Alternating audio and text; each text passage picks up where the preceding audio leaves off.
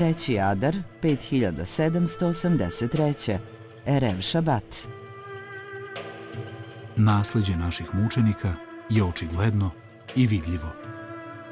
Dok se ostali propisi često zapostavljaju, zapovesti zbog kojih su jevreji umirali mučeničkom smrću, a koje se odnose na pesah ili obrezivanje, danas ispunjava i čuva većina jevreja. Ne treba gubiti nadu ni u vreme verskih progona, jer je Bog obećao da ni jedna sila neće imati tu snagu da uništi našu snažnu veru. Svako će oružje protiv tebe biti tupo, a i svaki jezik koji bi se protiv tebe na sudu podigao, ti ćeš sam osuditi.